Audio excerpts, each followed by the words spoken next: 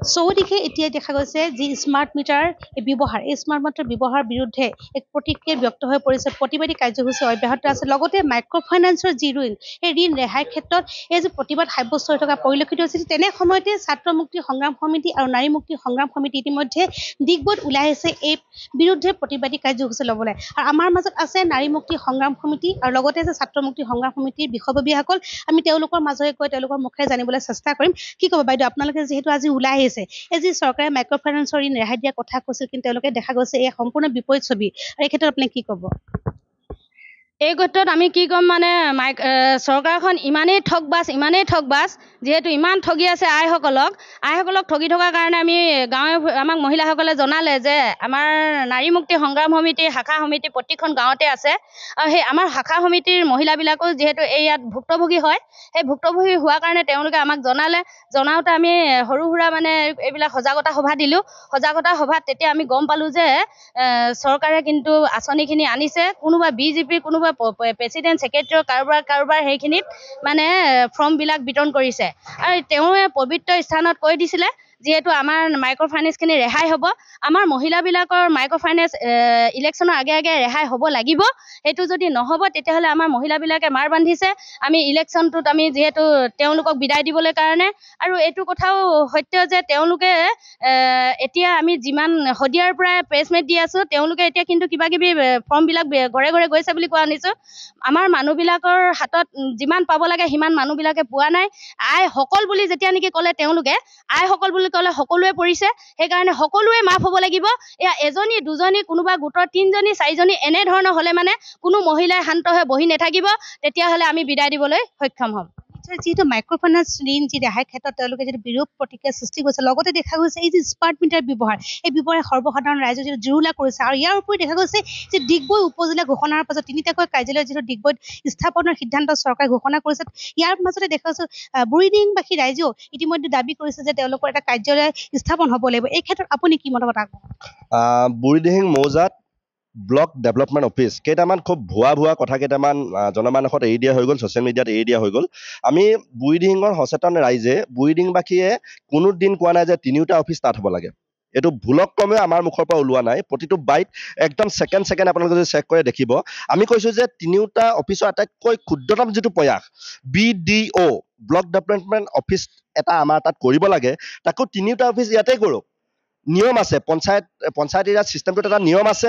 সেই নিয়ম অনুসৰি আমাক B D O' office Digboi সমষ্টিটোত দুটা কৰক আৰু এটা বুইডিং মৌজাৰ যিকোনো প্ৰান্তত যাতে মধ্যস্থল হ'ব বুলি বিধায়ক মহোদয়ে অনুভৱ কৰিব তাতে দিয়ক।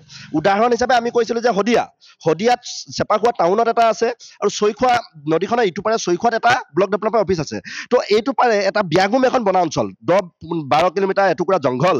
এই জংঘল টুকুৰাত আপোনালোকে জানে যে বি ডি অ' অফিচত আটাইতকৈ বেছি যদি কাম যদি থাকে আমাৰ মহিলাসকলে গোটৰ কামৰ কাৰণে বি ডি অ' অফিচলৈ আহ যাহ কৰিব লগা হয়। তো সাংঘাতিক এটা বিৰূপ প্ৰভাৱ পৰিব আহিব লগা সময়খিনিত। সেইকাৰণে আমি বাৰে বাৰে অনুৰোধ জনাই আছোঁ যে সেই অঞ্চলটোত আপোনালোকে কওক যে যথেষ্ট অসুবিধা হ'ব মানুহখিনি তাৰ কাৰণে অন্ততঃ বি ডি অফিচ দুটা কৰিব লাগে। মুখ্যমন্ত্ৰীক কাবু কাকতি কৰক। মৰাণ ছাত্ৰ সন্থা কেন্দ্ৰীয় সমিতিয়ে ইতিমধ্যে কৈছে সুৰেণ ফুকন ডাঙৰীয়াক ইতিমধ্যে কৈছে যে আপুনি মধ্যস্থলৰ বুইডিঙৰ কোনোবাখিনি দি দিয়ক। ইমানৰ পিছতো আপুনি মৈমতালি কৰিব কৰি থাকিলে কিন্তু ইয়াৰ প্ৰভাৱ পঞ্চায়ত ইলেকশ্যনৰ আগতেই পাব। এই কথাখিনি আমি একদম ছাত্ৰ মুক্তি সংগ্ৰাম সমিতি তিনিচুকীয়া জিলা সমিতিৰ সভাপতি হিচাপে সমান্তৰালভাৱে বুইডিঙৰ এজন উঠি অহা সচেতন লোক হিচাপে আমি স্পষ্ট কৰি দিব বিচাৰিছোঁ। স্মাৰ্ট মিটাৰ ব্যৱহাৰ বিৰূপ প্ৰতিক্ৰিয়া সৃষ্টি হয় এই ক্ষেত্ৰত আপোনালোকে কি ক'ব? আমি স্মাৰ্ট মিটাৰৰ কাৰণে মাৰ্ঘেৰিটাত আমি আন্দোলন কৰিছোঁ আপোনালোকৰ নিউজ এইটিনে নিউজ বজাইছে। আপোনালোকৰ জানে যে তিনিচুকীয়াত আমি উপ বিদ্যুৎ সংমণ্ডল বজাইছোঁ আপোনালোকৰ তাৰ পৰা উপাসনাই নিউজ কৰিছে। শদিয়াত আমি নিউজ কৰিছোঁ। আমি জানে যে ডুমডুমাত বিদ্যুৎ উপ সংমণ্ডল কাৰ্যালয় ঘেৰাও কৰিছোঁ। আমি কাৰ্যালয় ঘেৰাও কাৰ্যসূচী ইতিমধ্যে শেষ। এতিয়া আৰু আমি কোনো বিদ্যুৎ কাৰ্যালয় উপ সংমণ্ডল কাৰ্যালয় ঘেৰাও কৰিব লগা আৰু নাই। এতিয়া কেৱল মাত্ৰ যিসকলে দায়িত্বত আছে চৰকাৰ চলাই আছে তেওঁলোককহে ক'ব লগা আছেগে। সেইকাৰণে আমি অনুভৱ কৰিছোঁ যে স্মাৰ্ট মিটাৰ বিষয়টো আমাৰ বিধায়কে উঠাব লাগিব। উঠাই ৰাইজক সকাহ দিব লাগিব। ঘৰে ঘৰে স্মাৰ্ট মিটাৰ লগোৱা কাৰবাৰটো বন্ধ কৰি দিব লাগিব আৰু য'ত য'ত লগালে সেইখিনি আজৰি আনিব লাগিব খুলি আনিব লাগিব। এই কথাখিনি আমি ন তাৰিখে বিধায়ক সুৰেণ ফুকন ডাঙৰীয়াৰ ঘৰত গৈ তেওঁৰ পদূলিত গৈ এই কথাকেইটা আমি কমগে। আমি নাজানো তেওঁ পলৰীয়া হয়নে নহয়। তেওঁ যদি পলৰীয়া নহয় নিশ্চয়কৈ থাকিব। আৰু মুখত চকুত চকু থৈ আমাৰ কোৱাৰ সাহসখন আমি গোটাই ৰাখিছোঁ আৰু এই কথাখিনিকে ক'বলৈকে আমি খুব সোনকালে গৈ আছোঁ। পৰৱৰ্তী কোনো কাৰ্যসূচী লাগে বিধায়কৰ ঘৰ ঘেৰাও কাৰ্যসূচী। বিধায়কৰ ঘৰ ঘেৰাও ন তাৰিখে ল'ম। এক তাৰিখৰ পৰা আমাৰ বিধায়কৰ ঘৰ ঘেৰা কাৰ্যসূচী আৰম্ভ হ'ব। এক তাৰিখে বলিন চেতিয়াৰ ঘৰ ঘেৰা হ'ব শদিয়াৰ কাৰণে। তিনি তাৰিখে আমাৰ ডুমডুমাৰ ঘৰ ঘেৰা হ'ব ৰূপেশ গোৱালাৰ।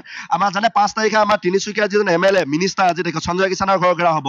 সাত তাৰিখে ভাস্কৰ শৰ্মাৰ ঘৰ ঘেৰা হ'ব আৰু ন তাৰিখে সুৰেণ ফুকনৰ ঘৰ ঘেৰা হ'ব যে মাইক্ৰ' ফাইনেন্সৰ মহিলাবিলাকক কিয় আজি তাৰিখলৈকে ঠগবাক কৰি আছে?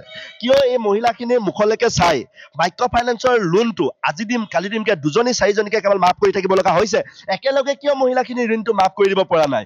এই খং এই ক্ষোভ উত্তৰ আমি ভাবো যে অনুভৱ কৰো সুৰেণ ফুকনে দিবৰ কাৰণে সাজু হৈ থকাটো ভাল।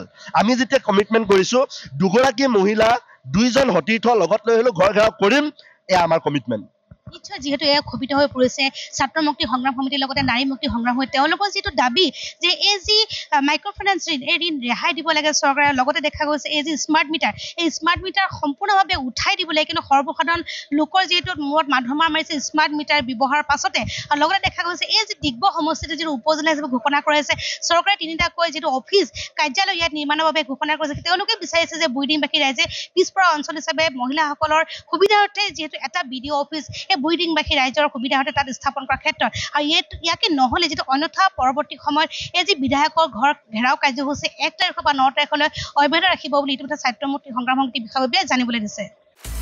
আপুনি বিচৰা বাতৰি পাব কেৱল নিউজ এইটিন এপত। নিউজ এইটিন এপ ডাউনলোড কৰিবলৈ স্কেন কৰক এই Q R code. Google play ষ্টৰতো পাব এই নিউজ এইটিন এপ।